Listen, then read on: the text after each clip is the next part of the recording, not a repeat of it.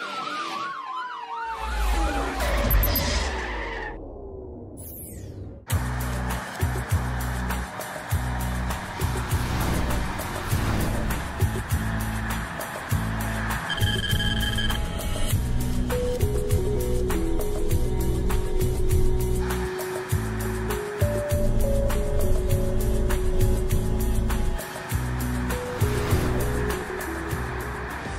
Priznám sa, je to trošku zvláštny pocit sedieť eh, na palube policajnej kobry. Čo je vašou hlavnou úlohou, keď takto hliadkujete? Dnes máme krásne počasie. Toto krásne počasie práve zvádza vodičov porušovať prevažne maximálne povolenú rýchlosť a snažíme sa takýchto vodičov z premávky eliminovať. A toto je presne ten vodič, akých ja nemám rád, že zostáva v strednom pruhu, vytrvalo jazdiť, pritom nikoho nepredbieha. Je to nebezpečná situácia, bezdôvodná jazda v strednom jazdnom pruhu na trojpruhovej diálnici. Uvidíme, ako vodič zareaguje. Dáme mu šancu preradiť sa späť do pravého jazdného pruhu. Vytrvalec.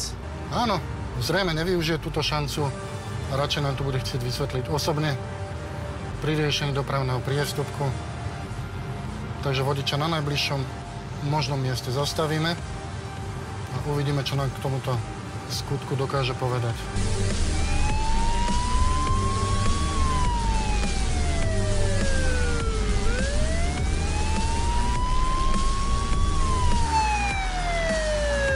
A už je v pravom jazdnom pruhu. Škoda, že až teraz, no. Pre jazdu po trojprudovej diálnici platia vlastne tie isté predpisy ako pre jazdu na akejkoľvek inej ceste mimo obce, ktorá má viacej pruhov. To znamená, na jazdu je výhradne určený pravý jazdný pruh, na predchádzanie druhý alebo tretí. Ak totiž to jazdím kontinuálne v strednom jazdnom pruhu, nútim ostatných vodičov pri predchádzaní vlastne prejsť z pravého až do ľavého cez dva jazdné pruhy. A to práve zvyšuje riziko a prináša tie nebezpečné situácie. Povedzme si, aké sú tie základné zásady, ako jazdiť po takejto diálnici.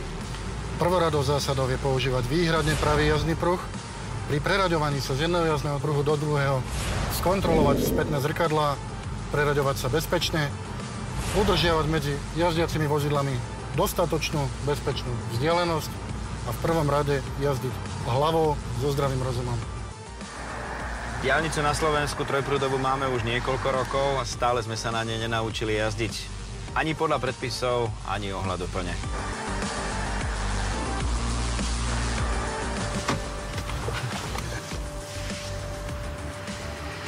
Nedodržanie týchto zásad bude musieť teraz vodič vysvetľovať polícii. A pritom sa stačilo zamyslieť. Na čo by boli trojprúdové diálnice, keby sme všetci jazdili v strednom pruhu? Takže aj na trojprúdovke treba jazdiť hlavou.